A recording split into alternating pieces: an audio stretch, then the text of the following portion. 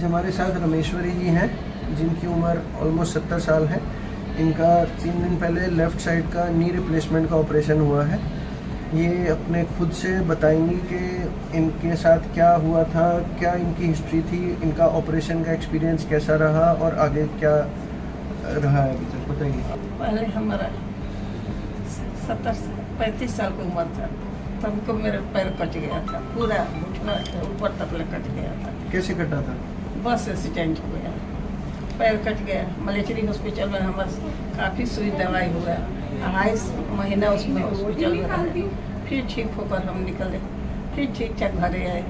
घरे आकर अपन सब अपना काम कर लेती थी। पैंतीस साल से आप एक ही काम पर चलते हाँ पैंतीस साल से मैं एक ही काम पर चलती हूँ। लेकिन अभी चार साल से मेरे बहुत कष्ट हो गया इसलिए हम यहाँ आए। क्यों कष्ट हो गया? क्योंकि एक ही टांग पर सारा वज़न डलता था।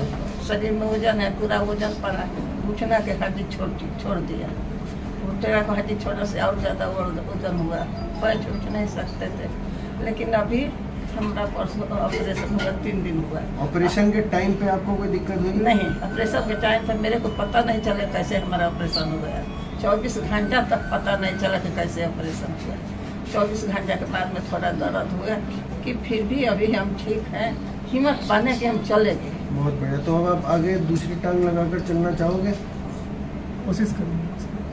तो जो लोग डरते हैं कि ऑपरेशन नहीं कराना चाहिए उनको क्या बोलना चाहोगे आप? नहीं आप किसी को भी कोई भी मुसीबत में ऑपरेशन कराइए। ऑपरेशन कराने से सब कुछ ठीक हो जाएगा। कोई दिक्कत नहीं आती कोई कोई दर्द नहीं होता ऑपरेशन के टाइम पर। एक दर पर बैठे हैं प्यास लगे। है कोई पानी देने वाला नहीं है। ऐसे हम चल कर थोड़ा पानी पी सकते हैं ना।